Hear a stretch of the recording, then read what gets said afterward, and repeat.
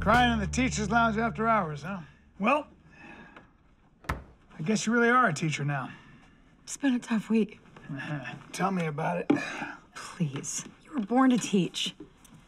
But me, I sucked at being a rock star and I suck at this. Born to teach. When I was your age, I wanted to go to the Olympics. I wanted to be a wrestler. But I blew my knee out. I didn't know that. And after I got hurt, I thought I had nothing left. Then an old high school coach suggested that with my passion for sports, I might be a good teacher. I always thought this was like what you wanted. It is now.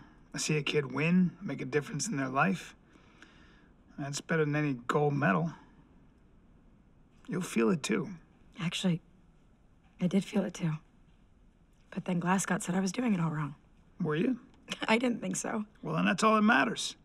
In this job, the best teachers follow their hearts, no matter what. Thanks, Coach.